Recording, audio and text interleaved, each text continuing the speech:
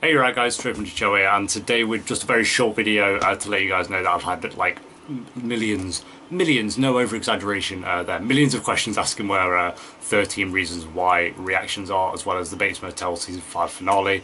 Uh, they all got taken, I mentioned this in an update video previously but just in case you didn't see that, uh, they all got taken down um, and I got strikes on the channel. If, uh, if you know, follow me on Twitter then you know that. So I'm not going to be re-uploading them onto YouTube but down below I'm leaving a link to the Patreon page uh, where you'll be able to find every video. Don't have to pay anything, don't worry about that. Uh, it's just I'm going to be uploading one every day I think.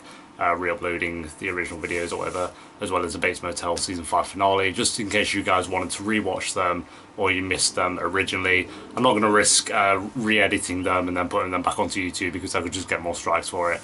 Um, so yeah, there's an option for you. Like I say, not don't need to pay any money. I know as soon as people hear the word Patreon, they're like, oh, you'll donate a million pounds to see these videos. Don't worry about that. So yeah, just wanted to let you guys know. So I'll leave a link to it down below if you do want to rewatch or watch them if you miss them. So yeah, until when I next see you guys, thanks for watching. Peace.